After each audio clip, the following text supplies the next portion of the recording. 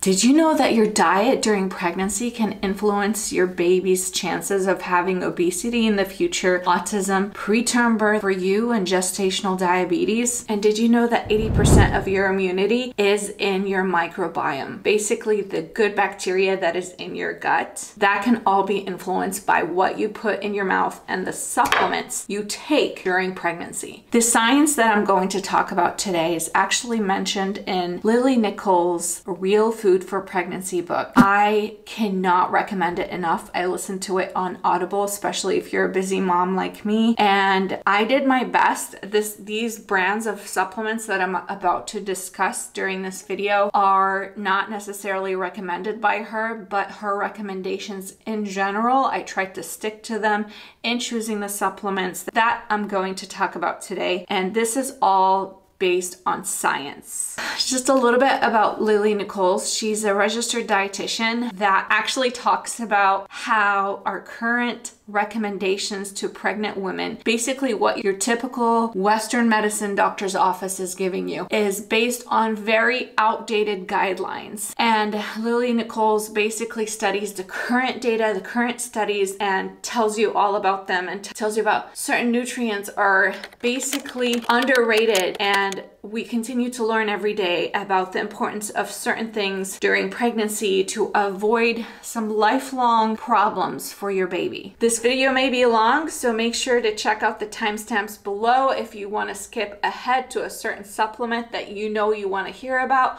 Otherwise, let's get started. If you have been pregnant before, you know that there is a test that they usually do closer to the end of your pregnancy called the strep B test, where they test your vaginal microflora to see if you test positive for group B bacteria. Group B bacteria is bad bacteria. It usually lives in your nether regions and it doesn't really do anything most of the time. But what they do is during your birth, birth, they have to give you IV antibiotics. What those IV antibiotics do is they kill off the bacteria, pretty much all good and bad bacteria in your body, including the vaginal area where most likely your baby will be coming out from. They have shown that when your babies are not properly colonized, that there is an 84% increase in chance of your baby having obesity in their lifetime. And all of this is also linked to allergies, eczema, and all kinds of things. It's highly recommended that you do not take antibiotics during during second and third trimester. I'm not gonna even talk about first trimester, but second and third trimester because that could kill or basically make your bacteria imbalanced and hence your baby not properly colonized. So Lily Nichols mentions one study where they took 99 women and tested all of them at the beginning of the study and all of them came back group B positive. I'm group B positive, okay guys? we'll get down to that in a second. And then from these 99 women, they chose some placebo group, which means they didn't really give them any probiotics and then they chose a probiotic group, the ones that actually received probiotics. And they noticed that from the women that they gave probiotics, 43% of them came back strep B negative, which means the probiotics helped balance their flora to where they would not need those antibiotics at birth, compared to 18% of the other group that were not giving probiotics came back being negative for group B strep, which tells you how important for example, probiotics are. So let's go ahead and start with supplement number one. I take this Garden of Life refrigerated brand of probiotics that has 100 billion units and it's ultimate care. I really care about the type of probiotics I take. I don't take anything off the counter because they're probably not completely alive. And I know these are a really good brand because as soon as I started taking probiotics, I stopped having also any kind of vaginal infections. So this definitely helped me with that. Now, Lily Nichols in her book does mention that you can also take a tablespoon of sauerkraut juice or kefir, basically yogurts or anything with fermented with bacteria that can also help your gut. So I have not tested during this pregnancy. I'm about to be 33 weeks pregnant. I have not yet tested if I am group B positive or not. I have been with my last two babies babies. One is four years old, one is five years old. So I assumed that I would be. However, I have been taking probiotics religiously during this pregnancy. When I do test for strep B positive, will I be positive? Will I be negative? The data shows that I'm statistically 43% possibility that I may come back being negative this time around. I really hope so. Okay, so I ended up getting my test done at week 36. And as you recall from the beginning of this video, I was strep B positive for both my first and my second born children. So me coming back as a negative for my third was going to be very far fetched. But I'm happy to report that the probiotics worked and I actually did in fact come back negative. So definitely consider probiotics. I'm not gonna go down into this, but I really want to have a natural unmedicated birth, which I will talk about in another video. Another great natural source of probiotics is kombucha and they sell those refrigerated at the store. They almost taste like soda and you do acquire the taste after you've had a few of them. They're extremely, extremely healthy healthy for you and full of good bacteria. I love my mint lemonade flavor, but they do come in many different flavors. So the other thing that I take with my probiotics is prebiotics. And prebiotics is basically food for your probiotics. I take that in a form of just food that I eat. So leafy greens is a good one. Coconut is another good one, which ties into keto eating uh, a lot, keto low carb pregnancy. And then I also do chia seeds and Chia seeds are a great source of fiber, great source of fat, and it's basically like a supplement as well. Did you know that chia seeds have more antioxidants than blueberries, more calcium than milk, and more omega 3 fats? than salmon. And not only are they good for constipated mommies. They're also good for mommies that have the other problem, diarrhea. So they're really good at coagulating and making it easier, especially during pregnancy, to have easy bowel movements without having to strain. The next supplement that I take is a prenatal vitamin, um, and this is a multivitamin with Mega Foods. Mega Foods have been shown to be highly recommended. I was actually anemic uh, when they actually tested my iron levels, which I have been anemic in my previous pregnancies. I tend to not be a fan of red meat at the beginning of every pregnancy, so I tend to get anemic. And my midwife recommended this brand. So it's recommended because they actually have shown in a clinical study that it does raise your iron levels as needed. And I'm obviously a lot better and I have a lot more energy after being diagnosed and starting the blood builder iron supplements. So the multivitamin multivitamin, I take the prenatal multivitamin here, and then the iron supplements, I take Blood Builder. Now notice something, again, from the book. The best iron supplement you can take that is not associated or least likely to be associated to side effects of iron, which you can have a lot of side effects, is iron bisglycinate. That is the best ingredient that you should be looking for in your iron supplement, and this is what the Mega Food supplement has. She does say to stay away from ferrous fumarate and ferrous sulfate. So definitely stay away from those ingredients if you see them in your iron supplements. I will have all the links to these supplements in the links in the description box below, along with the link to the book that I have referenced during this video. The next supplement that is very important, especially also if you're experiencing some laxity in your ligaments like I am, is actually collagen.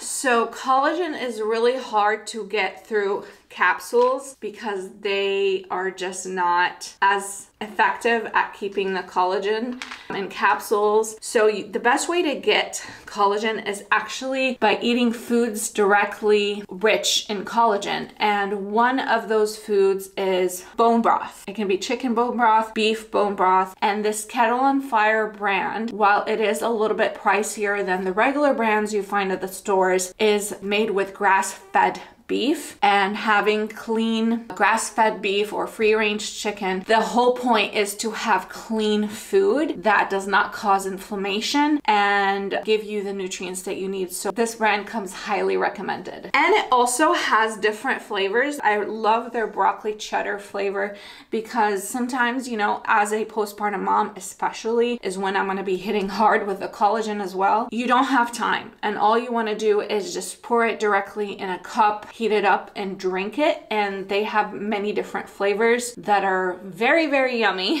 so make sure to check. The next supplement I take is vitamin D3, and it's D3 specifically. That is the brand that is recommended for best absorption, not D2, not anything else. So definitely look for D3. And vitamin D3 is the more effective kind of vitamin D and is fat soluble. So eating it with a healthy fat like avocado or nuts will make it even more soluble. I have in the past been vitamin D deficient. I'm always on the low end of vitamin D and I'm actually taking 5,000 IUs. In Lily's book, she mentions that a study to where you can take up to 4,000 IUs that they consider safe, but none of the people that have taken 4,000 IUs have come back with any kind of side effects. So I figured it would be safe for me, not telling you to do this, but safe for me to take 5,000 IUs because because I am vitamin D deficient anyway. The next supplement ties into my fear of taking antibiotics during my pregnancy, and it is D-mannose powder. The reason I take this is to make sure I do not get any UTIs. The D-mannose, comparing to cranberry supplements, which I've also taken during this pregnancy, helps you basically avoid and possibly in some cases has seen to also treat some UTIs. So I definitely stick to my D-mannose to avoid any UTIs. The next supplement is actually magnesium. One of the biggest complaints you'll see that pregnant moms complain of is cramping, especially at night, getting that really painful Charlie horse. It's because we're lacking in magnesium. And Lily Nichols does recommend that you start at 100 milligrams and maybe go up to 300 milligrams. Magnesium helps with nausea as well. And she recommends the best, most absorbed kind is magnesium glycinate. And magnesium glycinate, the ingredient, is less likely to cause any GI symptoms. Since too much magnesium can actually give you the runs basically. So this is the brand that I use and it has magnesium glycinate versus any other type of magnesium. You might hear this a lot and your doctor probably tells you and you probably heard it because it tends to be commercialized is taking folic acid. But actually folic acid is not the best kind of ingredient you want to look for in your supplements. You want to look for methylfolate instead and activated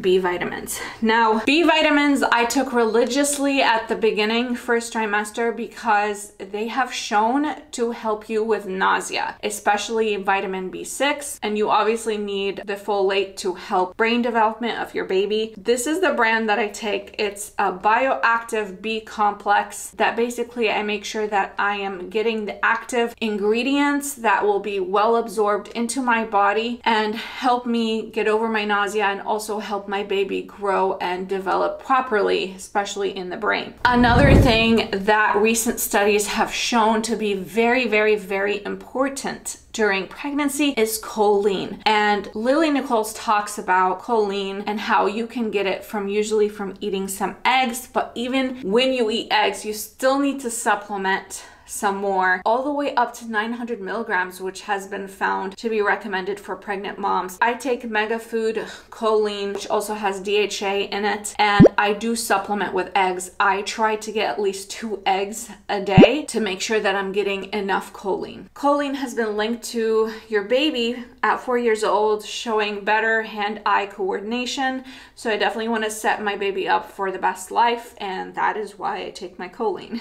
Now, a supplement that that I don't take, I don't take extra calcium. Your absorption of calcium actually increases during pregnancy. So if you're drinking milk or eating dairy products or anything that has calcium, usually you're getting what you need from that. So I do not take more calcium and also calcium might cause some unwanted constipation. And then last but not least, and I will be starting this around week 35 of my pregnancy because my baby is measuring two weeks ahead. And if you're curious about all of that, make sure to check out my other videos on my channel on my journey in my pregnancy. But basically, I am starting red raspberry leaf tea, and that has been shown to tone your uterus and to help you have a more effective labor, basically. There's many studies about that out there, but I know it can only benefit me. So I will be doing a cup of red raspberry tea every day starting around week 35. Red raspberry leaf tea has also been linked to reduced inflammation of the uterus. And the last thing that I will insert in here is not necessarily a supplement, but a food. A lot of studies have shown that eating dates, around a tablespoon or two of dates,